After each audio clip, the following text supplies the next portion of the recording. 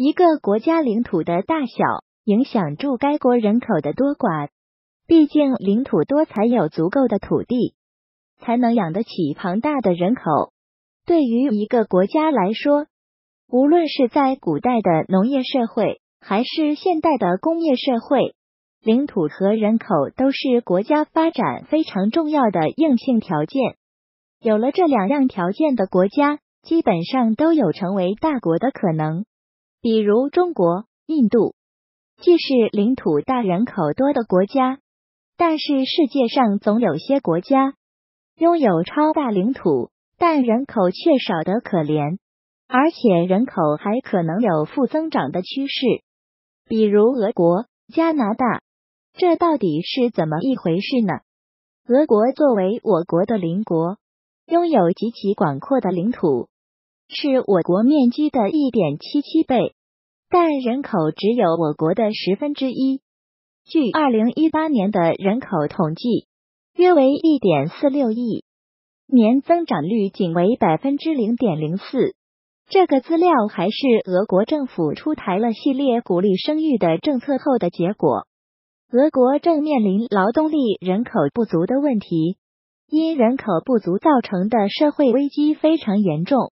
一方面造成俄军兵源不足、兵员质量下降的大问题，另一方面还严重制约了俄国的经济发展，这直接导致了俄国近年来国际竞争力的下降。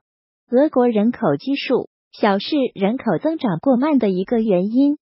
二次大战中，苏联是欧洲的主战场，虽然最后取得了胜利，但却付出了惨重的代价。当时为了应付战争，将全国青壮年搜刮一空，共得兵员两千七百六十万人，但这些士兵大多都牺牲了，造成了战后男少女多的现状。没有足够的男性，确实难以实现人口的稳定增长。另外，男女比例的严重失调，让俄国男人有了更多的选择，也提出了更多过分的要求。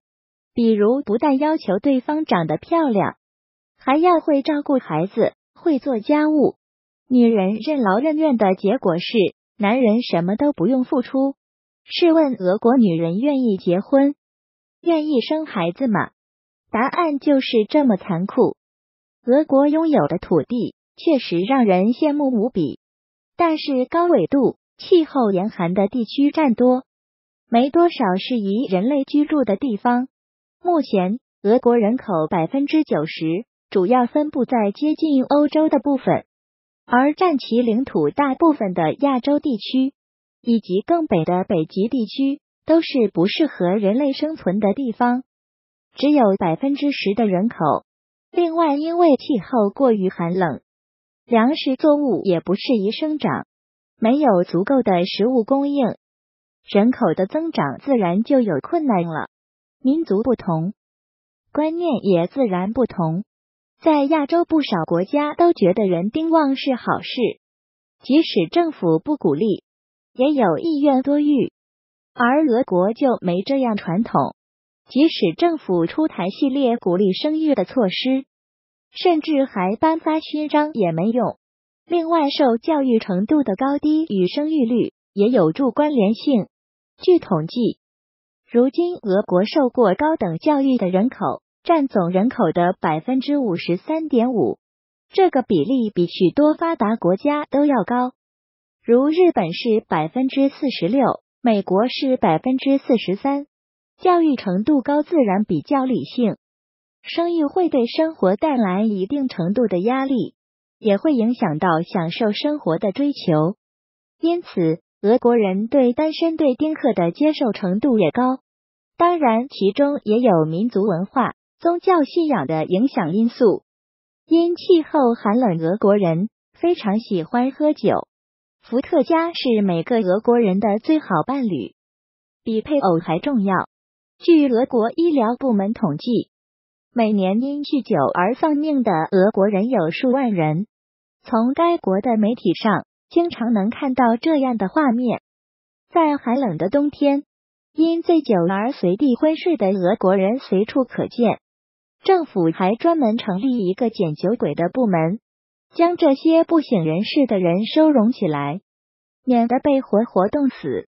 但仍然有不少人失了性命。另外，就算没冻死，高浓度酒精也是损害人体健康的物质，对生育也造成了负面的影响。这是主观因素，也是值得各国警醒的因素。